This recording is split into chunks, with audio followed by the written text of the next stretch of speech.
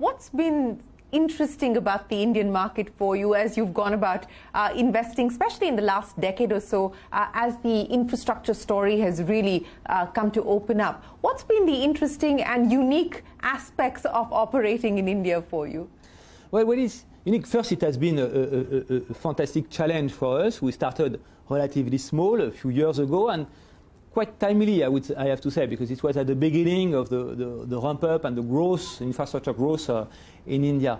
And we have always been up to the expectations. Mm. So our, our, colleagues in India have always kept up with the, all the expectations, both in terms of growth, because we had to recruit so many uh, new uh, colleagues, in terms of agility, in terms of capability, and in terms of technology. So we are now innovating more and more from India. I mean, for example, the most sophisticated signaling system.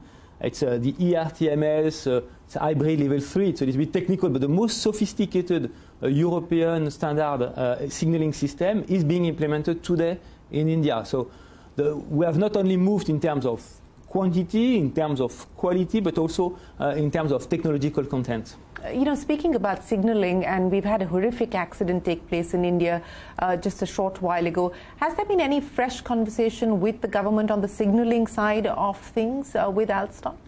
Well, clearly, and, and this was a very uh, terrible accident and a bitter, bitter reminder about the importance of uh, safety on, on, in railway and the importance of signaling systems uh, in railway. So, of course, Alstom is here in India and will make sure that we can provide any uh, technology which has been required. But there is already a, a huge investment plan by the government to deploy uh, signaling system throughout the country. Uh, so we are participating to, to, this plan, and of course, the fastest, the, the best uh, to avoid uh, as much as, as, we can, of course, uh, this kind of accidents. You know, I want to talk about the changes that we're seeing for Alstom globally as well, and you've uh, embarked on a strategy to ensure that the company remains agile, remains dynamic, it responds to the challenges that we are presently faced with, but also is future ready. And as part of that is really the move towards a greener uh, Alstom, uh, noise reduction, passenger experience, all of those things are something that uh, you've been focused on and working on. Hydrogen uh, and the German launch was the was the big milestone that you've been able to achieve. What should we realistically expect in terms of innovation as well as further milestones that you hope to achieve on that front? Well, you said it very well one of our main goals in terms of innovation is to improve the environmental performance of our products. This comes through energy saving primarily, uh, because most of our trains are electrical trains. So we need to make sure that each generation basically consumes 20% less energy than the previous generation. So we achieve that for locomotives, for metros, or the very high-speed train that we are just launching in, in, in Europe. Each time we save 20% energy.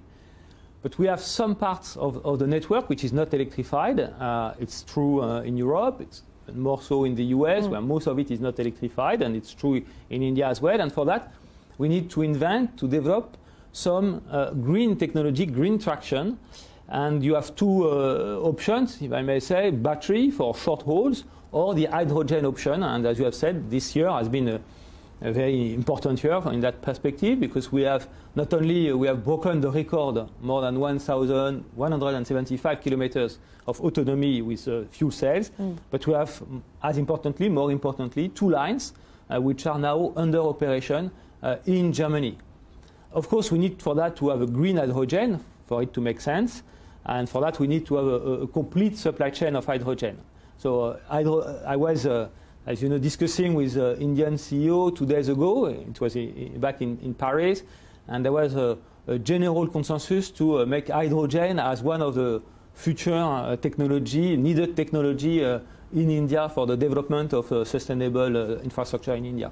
Uh, the government is focusing on green hydrogen, and in fact, there's been a scheme that's been announced by the government to push uh, the, the production of green hydrogen and set up that ecosystem here in India. But you spoke about speaking with Indian CEOs. You also met Prime Minister Modi. Uh, uh, he was in France for the Bastille Day celebration for as the guest of the honor. Uh, uh, you know, what was the sense? What was the message that you that you got from the Prime Minister about expanding here, investing further in India? Well, my minister was extremely uh, positive on and welcoming on the investment and the green investment in particular in India. So it was very uh, refreshing and very uh, positive to hear him uh, welcoming us uh, here in India. All what is a sustainable agenda, net zero in 2070, as we know, infrastructure development, as well as on the Make in India. And of course, to Alstom, it is music to my ears. I mean, we have invested a lot in India to be compliant with Make in India and not just to be compliant with the law or the policy, but also because we strongly believe uh, that this is the way to uh, do business in India, and it's also for the interest of Alstom uh, to be uh, fully, fully embedded uh, in the local environment, in the local infrastructure. Uh, so I think there are a lot of very positive messages which are encouraging our investment even further. So how much would you say you've invested in India over the last five years, and what could you potentially look at investing in India over the next five years? Well, it's, to some extent, it's a little bit exponential. We have invested more than 300 million euros in capex. But you know, more than capex, uh, for us, it's uh, of course the capabilities and the engineering capabilities. The fact that we have more than 12,000 employees now in India, more than 5,000 engineers uh, in Bangalore doing, I said, 25% of all our trains worldwide. I mean, this is uh, our main investment in addition to our manufacturing sites. We have six uh, manufacturing sites. Uh, but I say it's both are equally important, the physical investment as well as the know-how investment, uh, which has been great over the recent years. Do you intend to up your headcount at your Bangalore facility, and are you looking at any further manufacturing uh, facilities? Uh, we are. So we're increasing our headcount year after year in Bangalore.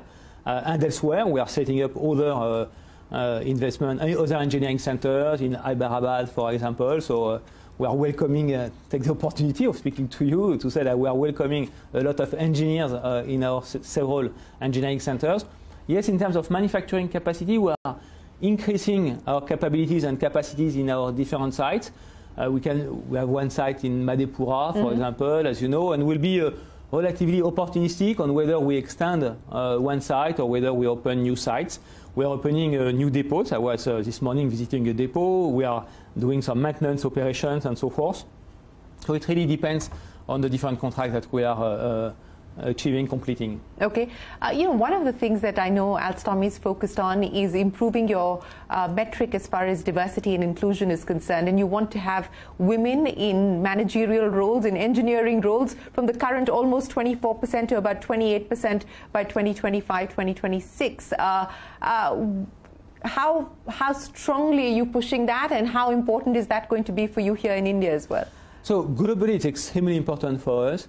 I think it's extremely important for Alstom to be inclusive, uh, not only in its employee base, if I may say, but also on its product. So we are looking a lot on our product, how our products are designed, manufactured, developed uh, in order to be uh, uh to welcome all type of passengers, uh, and that's uh, of course for people with disabilities and difficulties and so forth, so that we are accommodating all our products.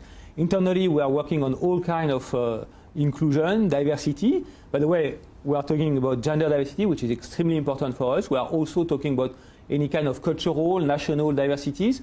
We are making sure that people can exchange uh, places. Uh, for example, to take an example, a lot of Indian colleagues are traveling now around the world. So we have uh, around 150 to 200 Indian colleagues, uh, which are employed in different sites of Alstom worldwide. So we are also mixing the nationalities and the culture so that people can be more creative.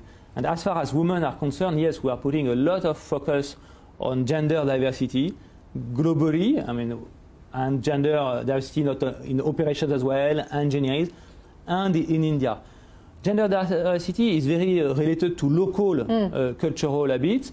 Uh, so we are also a lot of pushing the local uh, management to take local actions.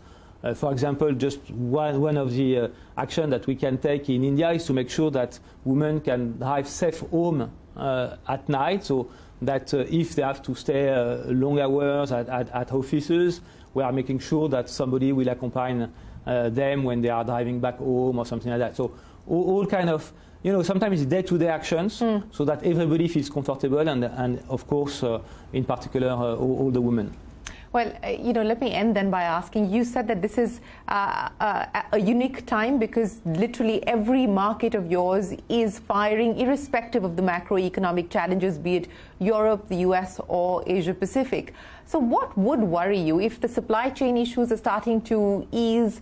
Uh, hopefully, inflation will start to ease as well. What are you most concerned about today? What could impact uh, your guidance that you've held out? Well, Today, we have a very large backlog, as you have said. So the first challenge of Alstom is execution. So we need to deliver this backlog. We need to embark a lot of new people, for example, uh, new engineers in India, uh, several thousands of new engineers in, in India. We need to train them uh, in order to deliver, to always deliver with the same level of quality and customer satisfaction. So my worry is not the market, as I said.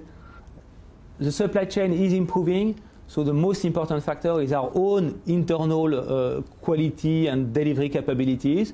With this kind of growth, uh, we need to be uh, perfect in, in our delivery. Well, we wish you the very best of luck with the execution roadmap. And thank you very much for joining us here to take us through what the road ahead looks like for Alstom in India and what the global outlook uh, is as well. Always a pleasure. Appreciate your time. Thank you very much. Thanks for your time. Well, with that, it is time for us to wrap up this edition of the Global Dialogue from all of us here on the team. For now, goodbye and thanks for watching.